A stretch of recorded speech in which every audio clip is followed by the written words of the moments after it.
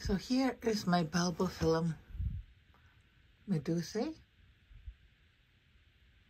It's in bloom now and it is such a beautiful little thing. It is a spectacular, it's putting on a spectacular show right now. It's like a fireworks and look at these little um, things hanging down. I'm not sure what the technical term is for that. Not sure. I, I don't know the exact name, so spare with me for that. So anyway, so this got this is a recent purchase of mine. I got it from um, Hawaii from um, Maui Orchid Whisperer. One uh, one bud over here fell down when I was moving it, uh, and it has so one, two, three,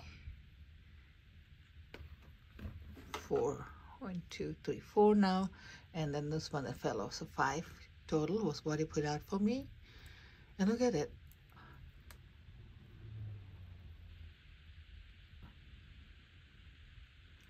It is so beautiful. It's it's like a stop, showstopper right here, and uh, it.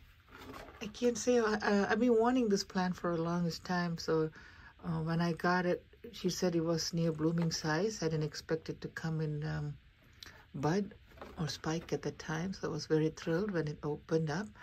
Now this flower, I don't know the cultural carum other than I guess like a regular bulbophyllum, but it um, I had it for like a week or so now. So, so after I got it, I, I seen the spikes. I didn't expect it to flourish and open up so soon, but it did. And I think it uh, won't last that long. So I thought I'll take you along and show you the flower before it fades away. So it's it's a real beauty. It's a real thing. So if you ever want to get one bulbophyllum, this is the one you, you should probably get. Although the Rothschildianum is also supposed to be very good. Uh, I don't have any of those. I just have a few bulbophyllum. The others are all no ID, so I don't know what they are. This is the only one that I know is the Medusa. So anyway, um, the fragrance, as far as the fragrance goes, it does have some kind of a fragrance, not offensive. Though, do I like it? Not really. Um, not something to talk about.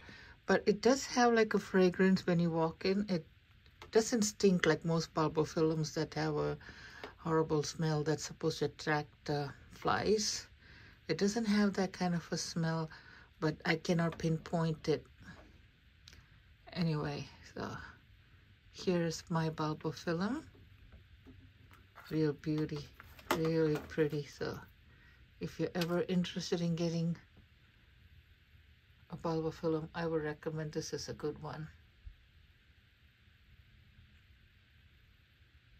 So thanks for watching. Bye.